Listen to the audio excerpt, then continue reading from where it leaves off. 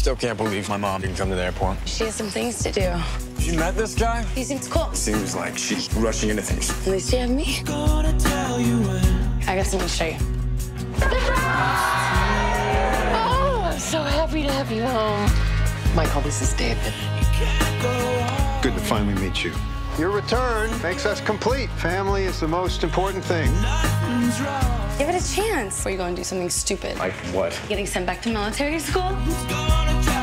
We're gonna put this family back together. You and me, father and son.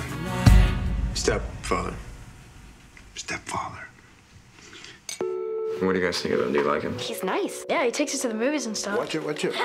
Your mom says you don't want to see me. No, Dad, you know, I'm not the one who left. You're just a little freaked out that your mom's marrying a stranger. On TV, I saw this woman who drove off a bridge with her three kids. Maybe they disappointed her. Mrs. Cutter, how are you? Did you happen to see America's Most Wanted last night? What'd you want? She had seen the story about this killer, and the police sketches look just like you. Wait, this will make me a hit with the neighbors.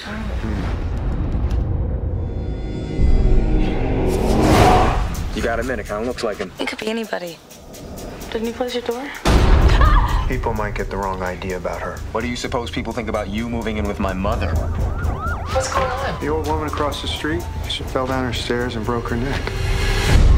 John, turn that down now! Mother said turn it down. Have a great day.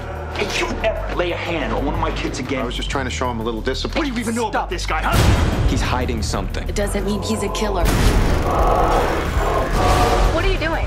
Find out what's in those storage cabinets. I thought I could make this work. But you can't! I thought you could be Mrs. Grady Edwards! What are you doing, Kelly?